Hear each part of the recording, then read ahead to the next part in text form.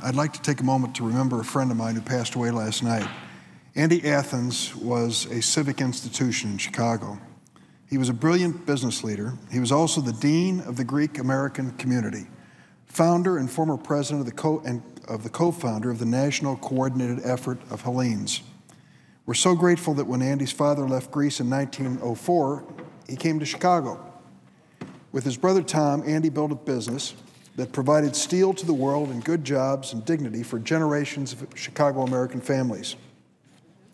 But Andy's contributions went far beyond Chicago. Growing up, Andy attended the school of St. Constantine and Helen Greek Orthodox Church in Chicago, where he learned the importance of Greek culture and the Greek Orthodox Church. When World War II came, Andy served as a captain in the U.S. Army in Europe and Af Africa and was awarded a Bronze Star. But he brought more than a Bronze Star home from that experience. He stayed on in Belgium after the war ended to run a liberated Ford Motor Company plant that was rebuilding American made cars and trucks for sale to European governments. Landing that job was the second best thing that happened to him in Belgium. By far his greatest stroke of luck was he met his new wife, Louise. Before Andy retired from the steel business, he used to have to carry two briefcases to keep all his activities straight. In one briefcase were the things he needed for business the other briefcase held the blueprints and details for all the extraordinary works of philanthropy and diplomacy by the American Council of Hellenes. During the tragic invasion of Cyprus by Turkey in 1974, Andy Athens founded the United Hellenic American Congress in Chicago to organize the Greek American community and press for peace and justice in Cyprus. He served as president or chairman or both over the years, and every Greek American organization wanted Andy to be part of it. In 1995, leaders of organizations representing the 7 million Hellenes living outside of Greece met in Greece to create an organization uniting all Greeks around the world. The result was the World Council of Hellenes. Who did the new council choose as its first president? The dean, Andy Athens.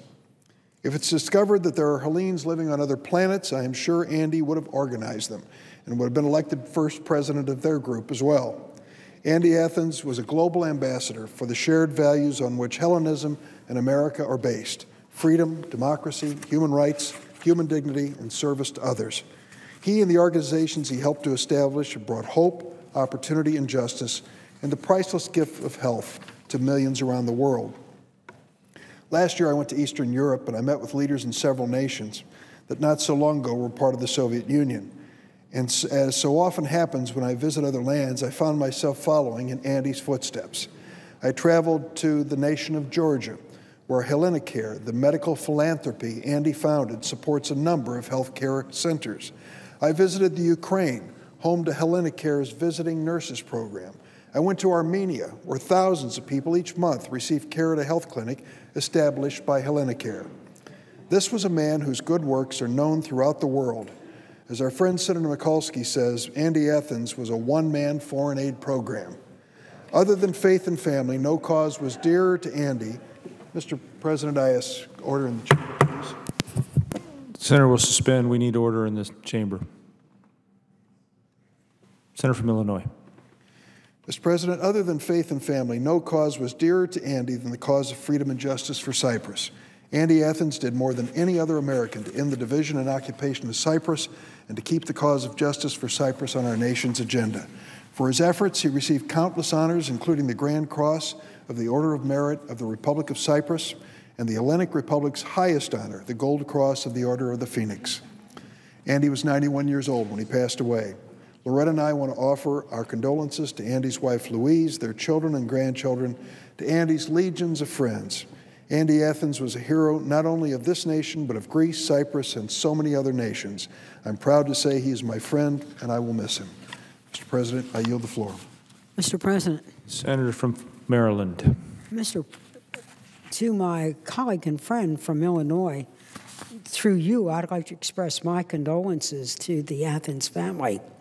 Uh, Andy Athens was a good friend to me.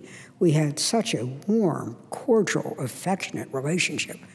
But he made that easy because of the kind of man he was a, a, a real entrepreneur in that immigrant sense, starting with very little and really creating a business, but along the way, he not only built a business, he raised a family, and he built a community.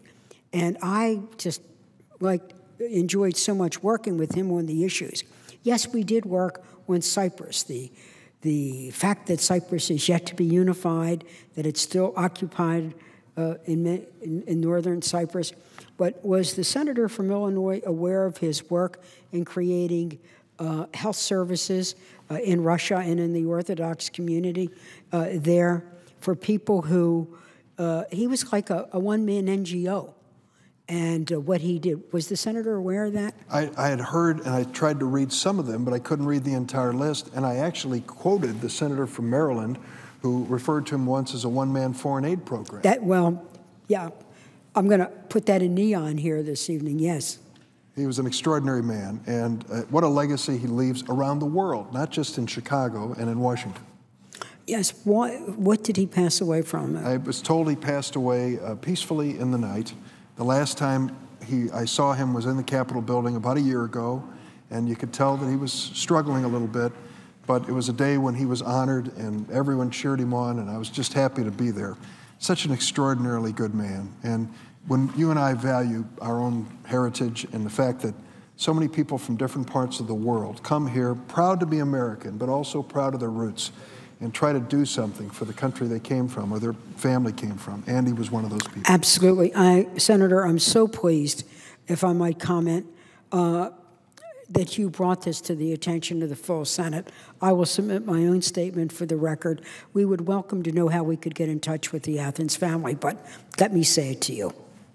I thank the senator from Maryland, and uh, I might also add that her former colleague, Senator Paul Sarbanes, was a dear close friend uh, to Andy Athens. And whenever we would have a meeting of the Hellenic group here in the Capitol, you always knew that Paul Sarbanes and Andy Athens were going to be right there in front with the Manatos families and others.